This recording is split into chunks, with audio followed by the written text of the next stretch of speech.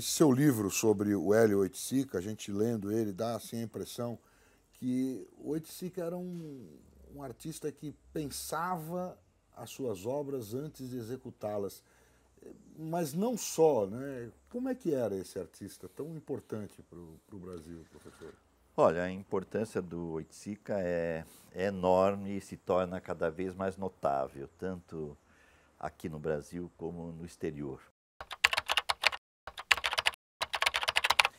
É, o que eu procuro mostrar nesse livro, exatamente perseguindo a sua produção desde o início, em meados dos anos 50, até sua morte em 1980, mas também com o que a gente ficou conhecido depois da sua morte, que foram seus notebooks, os seus diários, é, cheios de reflexões e de projetos para novos trabalhos, é que, como ele mesmo dizia, tudo o que ele fazia entrava num programa, no que ele chamava de programa in progress.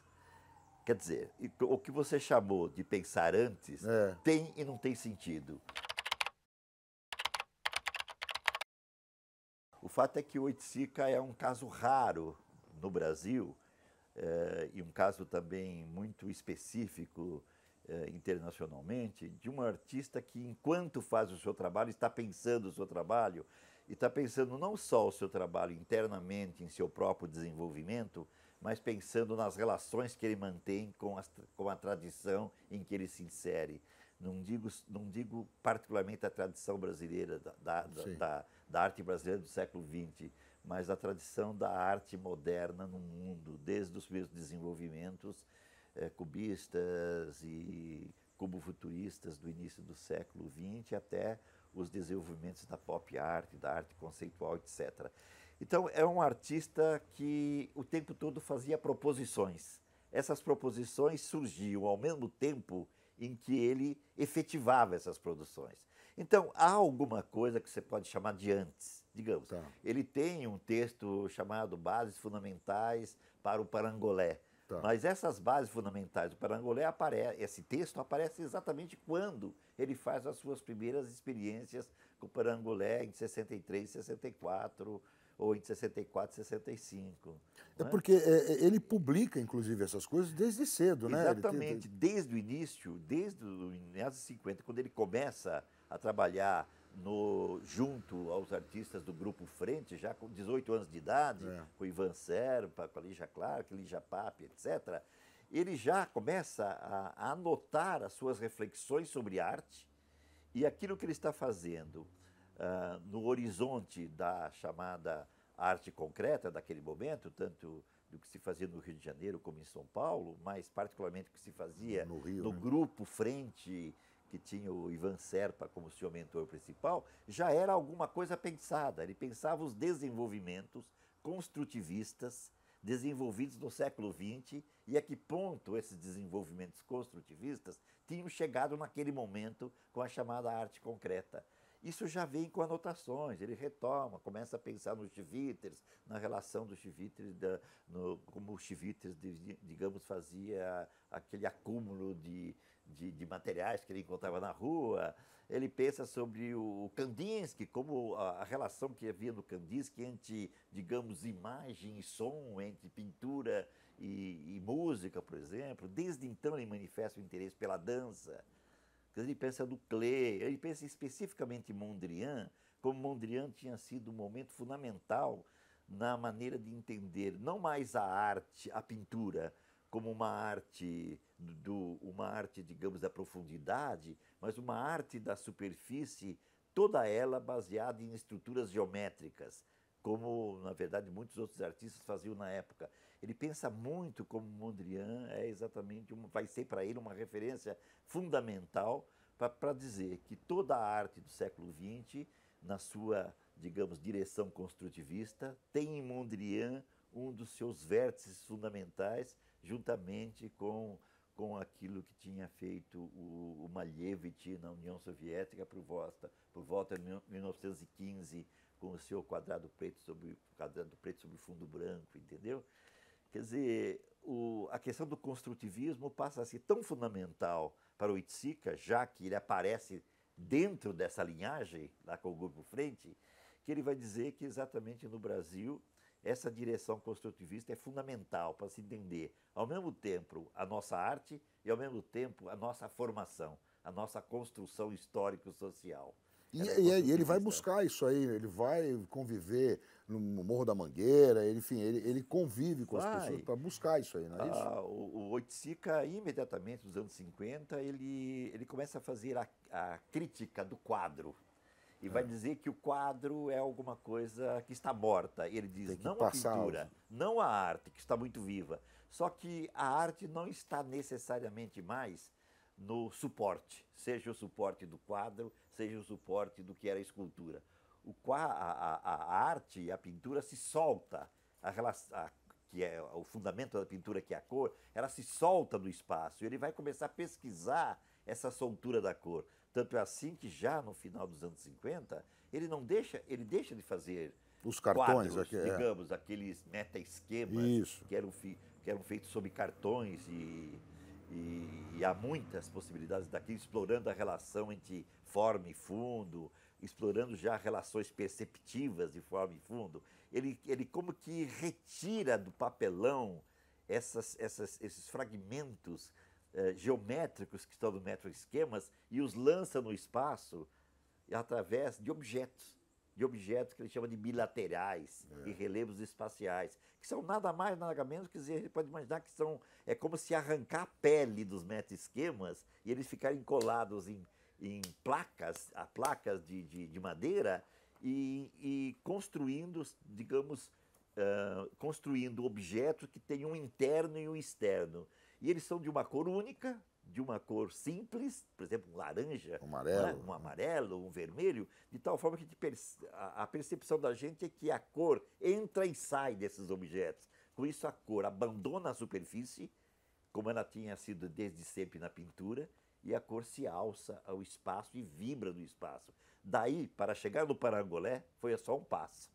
Quer dizer, ele ao invés de colocar fazer, a pessoa no. Ao invés de colocar essas, digamos, essas películas no espaço presa em madeira, ele coloca, ele usa tecidos e outras e outros tipos de materiais de natureza diversa e cores diversas num envoltório no que, que, que, está no corpo, como capas, né, por exemplo, que na dança, na dança da, do samba, por exemplo, que ele uhum. aprendeu na, na vivência da mangueira, aquelas cores se soltam do espaço, ficam aladas. E com isso ele passa exatamente da pintura na superfície para a pintura do espaço. Mas antes da, do Parangolé, ele coloca as pessoas dentro da obra dele, não é isso? Então, antes do Parangolé, é aquele, nessas aquele estruturas espaciais. Permeáveis, é isso? Penetráveis. Penetráveis. É. Nessas é. estruturas espaciais que ele começa a fazer já no final dos anos 50 e começo dos 60, uhum. ao nível do, das novas proposições que o Ferreira Goulart teorizou e que chamou de neoconcretismo, ele vai, ele vai tentar integrar, integrar aquelas formas abstratas, concretas, aquilo que eles chamam, o Goulart chama na, na, no neoconcretismo, e o Itzika usa o tempo todo, chama de vivência. Quer dizer, olha, as estruturas que ele vai construir e, e erigidas no espaço implicam a seguinte experiência para o ex-espectador que ele se torne participante. Isto é, que ele, que ele entre pelo meio das obras, se for possível, nos labirintos que ele cria, desses penetráveis são labirintos, tá. ou, ele ou ele passe em volta desses objetos pendurados, que são os relevos espaciais, e ele tem uma experiência da obra e da cor que, que esplende no espaço, né? uma experiência que ele não poderia ter com a simples composição, com a simples percepção que se tinha, às vezes, da obra na superfície. Ou seja, a experiência contemplativa. A experiência contemplativa transmuta-se num comportamento vivencial. Vivencia-se a arte, vivencia-se a cor, vivencia-se a obra agora. Isso ocorre exatamente na passagem dos 50 para os 60, com esses seus relevos espaciais e com os seus labirintos eh, que ele constrói e, e, digamos, e prende em um ripado que fica no teto e as pessoas podem circular por entre esses labirintos. Ora, esses labirintos, e depois com a experiência do, do dos parangolés, uhum. o leva a, a fazer a, uma, a grande experiência digamos, sintetizadora das suas novas proposições dos anos 60 já. Em 1967, ele instala no Museu de Arte Moderna do Rio de Janeiro, na exposição Nova Objetividade Brasileira, alguma coisa que ele chamou de Tropicália. Certo. A Tropicália são dois, são duas cabines, são dois labirintos, e esses labirintos são ao mesmo tempo são extremamente rigorosos em termos de composição, digamos, eles são mondrianescos, eles são uma composição bem estruturada como as de Mondrian, só que tá. no espaço, são cabines, mas ao mesmo tempo aí o espectador ao penetrar nessas cabines, ele tem contato com materiais dos mais diversos, desde brita, terra, até é, música. água, ouve música, vê inscrições nas paredes que são ou de madeira apanhada em construções, ou então tecidos, ou então uh, aniagens, sacos da aniagem, e penetrando nesse labirinto, ele vai tendo, através dessa relação de imagens, de palavras escritas nas paredes, de, de músicas que estão tocando, de, da tactalidade que sente pisando em brita, em água, em areia, etc., ele vai tendo uma referência, ele vai tendo uma experiência de uma referência cultural brasileira totalizante, em, em que os produtos, digamos, mais avançados em termos tecnológicos, como era na ocasião a televisão, por exemplo, que está no fundo do labirinto, até as coisas mais naturais e comuns da experiência, seja da favela, seja da experiência da rua, seja da experiência de qualquer lugar que se vive. Né?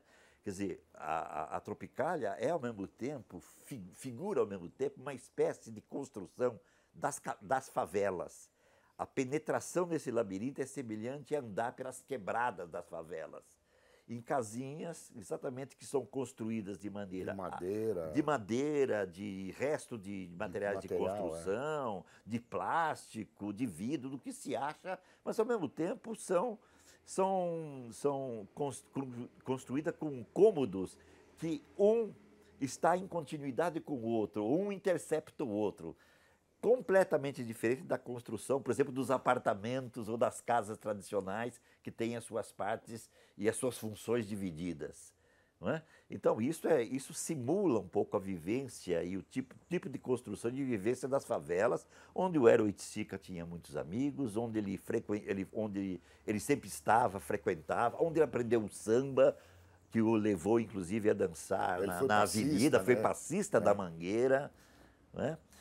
É... Agora, ele foi além disso, né, professor? É, além dessa, dessa experiência lá do Museu de Arte Moderna, ele, ele foi para o exterior. O que, que ele levou para o seguinte, quer dizer, aquela experiência tropical, como eu disse, foi uma experiência limite naqueles, da, dos desenvolvimentos que ele fazia desde os anos 50. Ele, ele passa do quadro dos meta, e dos meta-esquemas ou dos quadros de uma cor só, chamado, chamados monocromáticos. Então, ele, ele primeiro constrói faz quadros dentro, digamos, da, das teorias concretistas, depois ele passa a fazer esses meta-esquemas onde se dá a impressão de que, como eu já Pula disse, fora, é. que na verdade a cor está saindo, é como se você puxasse uma pelinha Sim. e as partes do quadro saem. Ao mesmo tempo, ele disso ele parte para o espaço, ele, ele retoma alguns desenvolvimentos que tinham sido feitos na década de 20 na União Soviética pelos cubofuturistas russos, Tatlin, Pevsner, de uma tentativa de já de fazer o que eles chamam de contrarrelevo. Então, com os contrarrelevos, com seus labirintos, o Eroitzica, ele rompe com o quadro, rompe com a escultura e propõe uma outra coisa, que logo ele vai chamar de ambiente, ou de arte ambiental. Né? Em seguida, ele introduz a vivência popular, com a sua experiência na Mangueira e Coparangolé. Em seguida, ele chega à Tropicália e sintetiza tudo isso nessa macroimagem chamada Tropicália, que é uma tentativa de entender as assincronias do país, a convivência do mais avançado com o mais atrasado, isto é, do arcaico com o moderno, de modo que nenhum, nenhum devoraria o outro, mas eles se entredevoram e permanecem ambos ativos. Alguma coisa que naquela ocasião você vai encontrar no Terra em Trânsito do, do, do, do Glauber Rocha, você vai encontrar no livro do José Gripino de Paula Panamérica, que você vai encontrar depois na música Tropicália do Caetano Veloso, cujo nome não Tropicália não foi dado pelo Caetano Veloso a priori, ou seja, conhecendo o ambiente Sica, mas a posteriori, quando Luiz Carlos Barreto disse assim, olha, ao ouvir a música do Caetano, assim, Caetano, essa música parece Tropicália do Hélio Oiticica no Rio de Janeiro, você já viu? Não, não vi. A hora que o Oiticica diz, sim, eu posso chamar de Tropicália a minha música, porque ambos funcionam do mesmo jeito, ou seja, é como se faz um percurso pelo Brasil, pelo arcaico, pelo moderno do Brasil, e mostrando como eles se interceptam e permanecem ativos, sem se dissolverem. Isto é, o arcaico moderno não, não, não passa pela, pelo esquema da superação, isto é, do moderno superando o arcaico. No Brasil não está havendo superação, está havendo alguma coisa indissolúvel, e essa coisa indissolúvel que aparece na música do Caetano, que aparece no, no na instalação do Hélio Sica e aparece no filme do Glauber Rocha. Sim. Quer dizer, que, que os arcaísmos e as modernizações estão não, não apenas em combate, estão numa relação de indissolubilidade e não se, e não se aponta nenhuma solução para isso. E ele pensava isso, é isso que o senhor Ele pensava aqui? isso e escreveu. Ele escreveu um, um texto na ocasião chamado Brasil Diarreia, onde ele pensa isso. Ele pensa no que ele chamou, o Décio Pinhatara tinha usado uma expressão na revista Invenção, no começo dos anos 60, dizendo que ele usa uma expressão assim, na geleia geral brasileira. A geleia geral brasileira, o Itzica vai dizer que essa geleia geral brasileira é o que ele chamou de Brasil diarreia. Um Brasil sempre diarreico, quer dizer, ele está sempre excretando uma porção de coisas antigas e modernas, e isso não se resolve, é como uma doença a doença do conservadorismo que se mistura Sim. aos elementos modernizadores e avançados, mas isso não soluciona a situação, entendeu? O, o Gilberto Gil e o Torquato Neto, na mesma época, produzem a música Geleia Geral, aproveitando a mesma coisa. Se a gente ouve a música do, do Torquato com o Gil, é chamado Geleia Geral, a gente percebe que está narrado um Brasil que ao mesmo tempo é avançado, ao mesmo tempo é arcaico, e não e essa solução não, não, não, não se separa. Não, não, se separa e não tem solução. Não tem solução. É este quase que história quase que mobilizada que está descrito tanto, está descrito, quer dizer, que é apresentado tanto na, no ambiente tropical do Sica, como na, nas músicas dos tropicalistas, especialmente Geral, Geral e Tropicália, como está no, no, no final do o final dramático do filme do Glauber Rocha, Terra em Transe, quando se percebe que, que aquilo termina sem solução, não é verdade? Agora, o Oiticica, em seguida a isto, em seguida a essa, esse ambiente tropicália, ele, ele leva adiante essas experiências de vivenciar, de, de transformar a arte não mais em, em alguma coisa contemplativa, mas numa uma coisa participativa, de modo que a arte deixa de ser algo da contemplação, mas algo da participação, da vivência. Ou seja, ele integra os comportamentos do artista e dos participantes numa num único vórtice, num único movimento.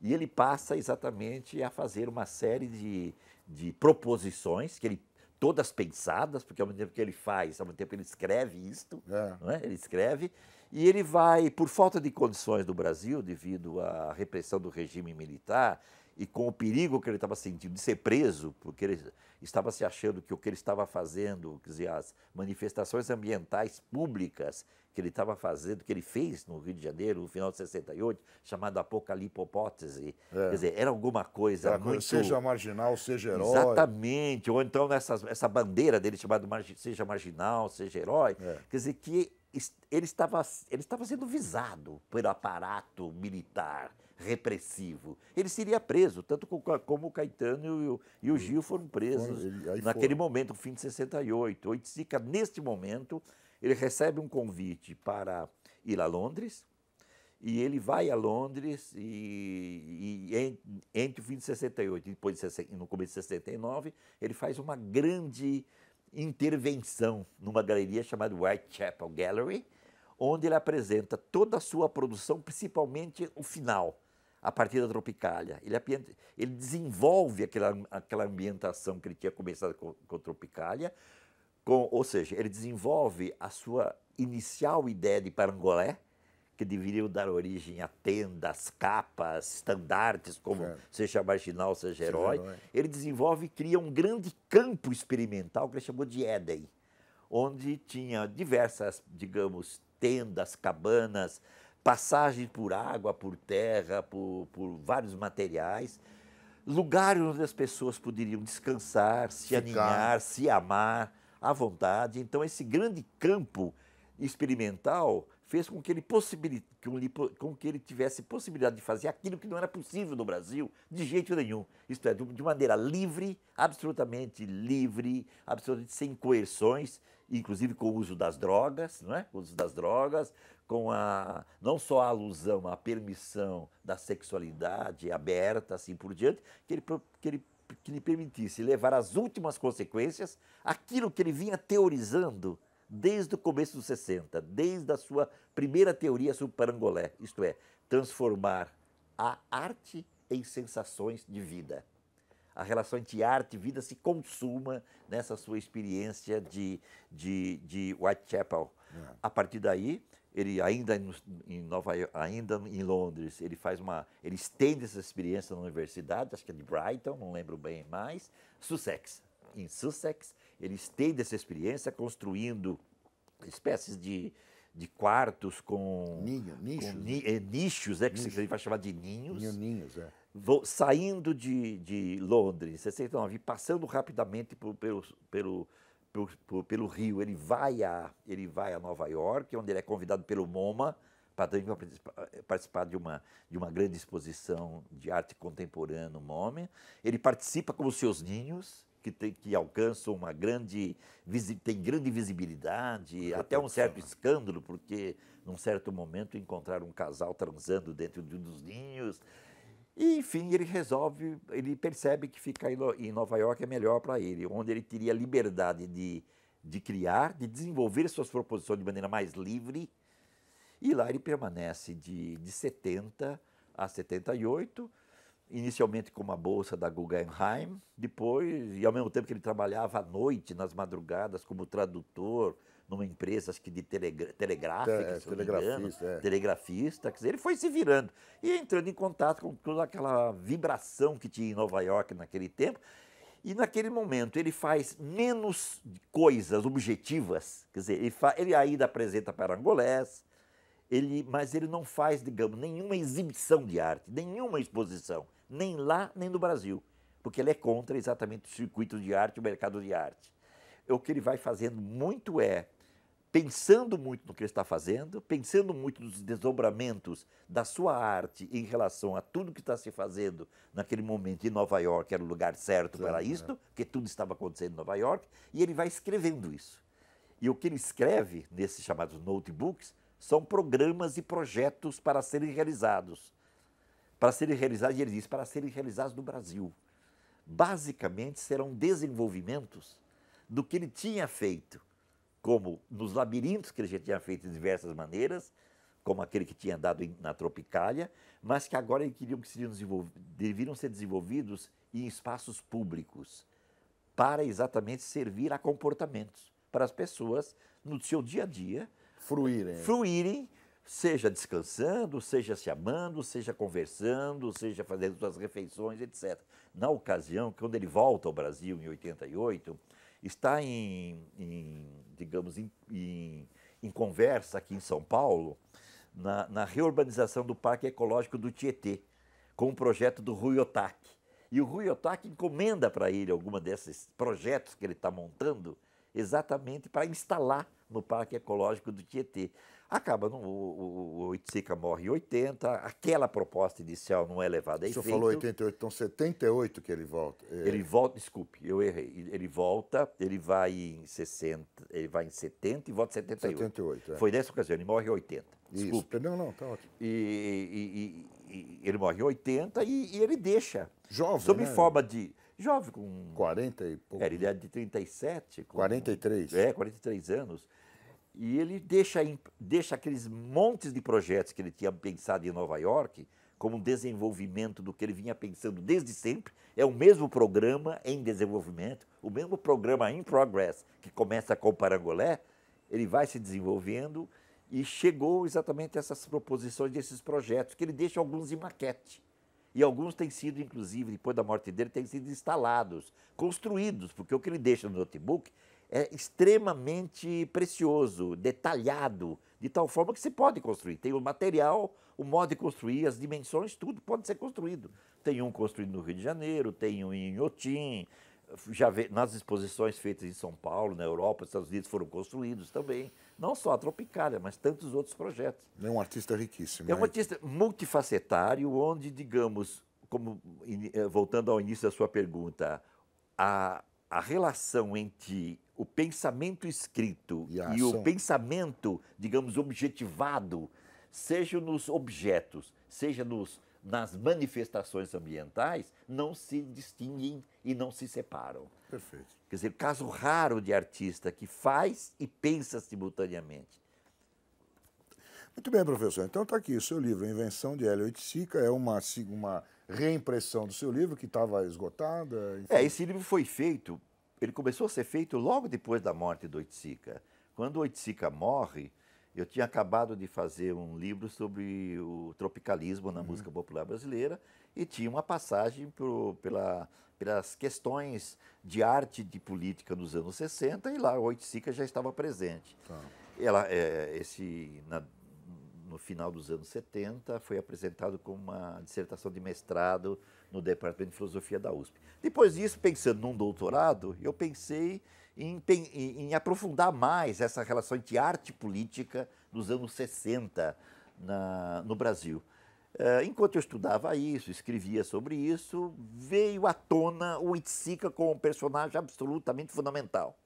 Então, poucos anos depois da morte do, do Itzica, quer dizer, em 84, 85, eu já estava pesquisando o trabalho dele, lendo os textos dele à disposição, que eram poucos naquele tempo, eles não tinham sido digitalizados, estavam num arquivo fechado do Rio de Janeiro, impossível de ser consultado, mas enfim, consultando o que tinha à disposição e conhecendo, como eu já conhecia muito da obra dele, mas conhecendo o que eu não conhecia, eu comecei a escrever esse trabalho que ficou pronto em 87, 88, apresentado como tese de doutoramento em filosofia na USP, e, mas só foi publicado, é, isso foi em 87, 88, foi publicado em 92 pela EDUSP.